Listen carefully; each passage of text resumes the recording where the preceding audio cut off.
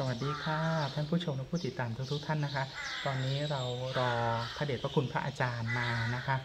แล้วก็ที่เรามาเห็นนี่ก็คือพระพุทธรูปโบราณนะคะสามองค์ แล้วก็มีโบสถ์นะคะที่สร้างขึ้นมาใหญ่มาก แล้วก็ที่เห็นนี่ก็คือมีที่บรรจุอัฐินะคะ กระดูกของคนโบราณ แต่ก่อนมีอายุเกือบประมาณ 60 ปีในธาตุธาตุที่บรรจุนี้ก็คือแปลว่า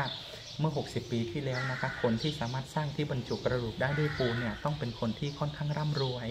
มีอยู่มีกินแล้วก็เป็นคนมีเชื้อมีแถวนะเนาะเขาว่าอย่างนั้นนะแล้วก็อยู่รอบที่นี่อย่างนั้นก็แปลว่ามี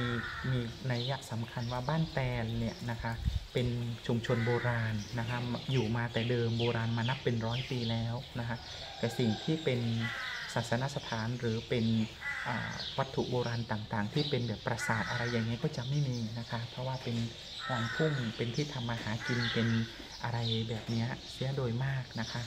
ดังนั้นวันนี้นะคะเป็นวันที่อาจารย์ดีใจมากที่ได้ลงมา เห็นพื้นที่ที่มีความสำคัญทางวัฒนธรรมของกลุ่มชาติพันธุ์แล้วก็มีความสำคัญต่อการศึกษานะคะของนักศึกษาในเรื่องของศิลปะนะคะโบราณวัตถุแล้วก็ ประวัติศาสตร์ แล้วก็ที่มาคุณค่าประโยชน์นะคะ ความหมายความสำคัญ แล้วก็สิ่งที่มีอยู่นะก่อให้เกิดวัฒนธรรมประเพณีท้องถิ่นนะคะ แล้วก็กลุ่มชนมีความเรียกว่ายังไงนะมีความ